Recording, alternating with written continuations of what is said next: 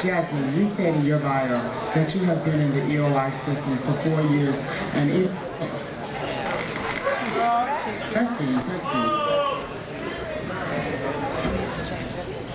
Hello. We're gonna try that one more time. One more time, Jasmine, I'm sorry. You said in your bio that you have been in the EOI system for four years, and even though you have placed in the top 10 all four of those years, you are currently working on becoming a better entertainer. What steps are you taking to become a better entertainer? I'll repeat the question.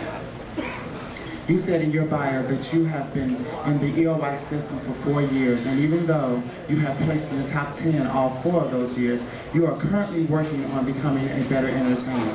What steps are you taking to become a better entertainer? Thank you, Shayla. Ladies and gentlemen, judges, for your consideration on contestant number 11. I think the main step I took to become a better entertainer in the past five years, I've been performing for five years, was to take two years off from doing entertainer and to sit at home and to watch myself on videotape, to watch how I do my makeup, to practice. Practice does make perfect if you do do that. And I also watch other entertainers because I can take a lot of things from other entertainers and put it into my package and my pack make my package more well-rounded so I can entertain you in every way, shape, and form. Thank you very much. I'm contestant number 11,